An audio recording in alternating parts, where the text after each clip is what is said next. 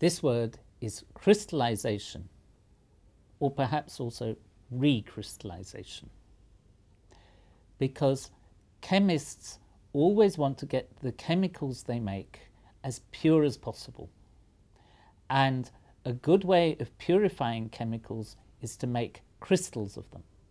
When they're in solution, you can have all sorts of impurities, but when they form crystals, the crystals contain a much purer compound than in the solution, and the impurities are left in the solution. Generally, the crystal is a very precise arrangement of molecules, all the same, fitting together like pieces in some sort of construction toy. The impurity has a different shape, so it doesn't fit in properly. Occasionally, you're unlucky and you get an impurity that's the wrong shape, and then you can't get rid of it.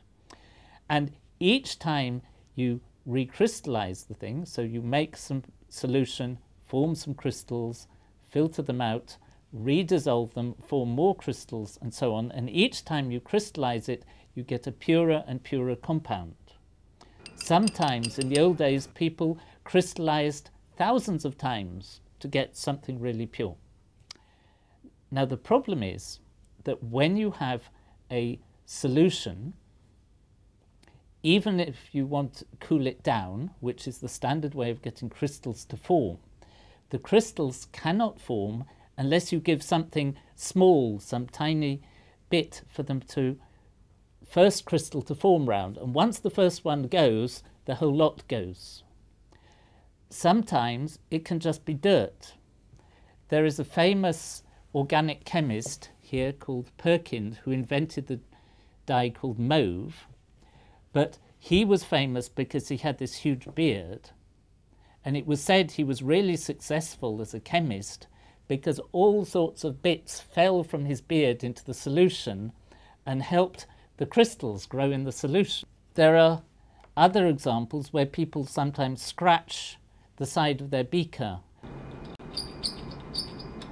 This forms tiny fragments of glass so that they also can act as a nucleus for the crystals formed around.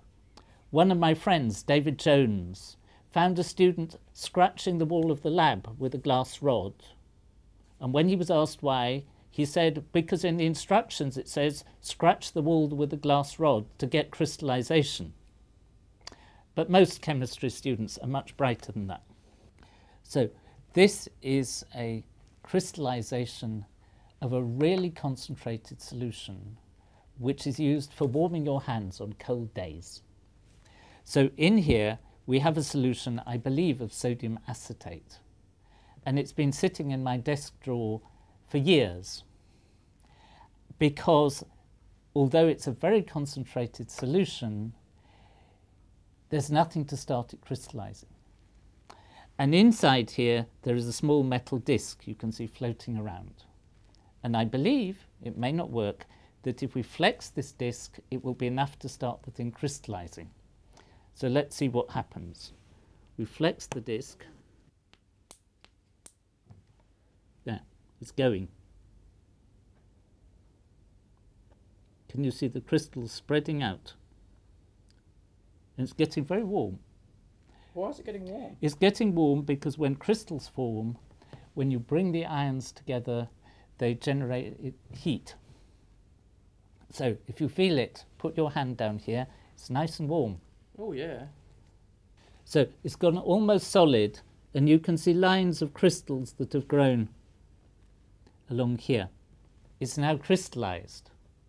So what do you do? If you're rich, you just throw it away.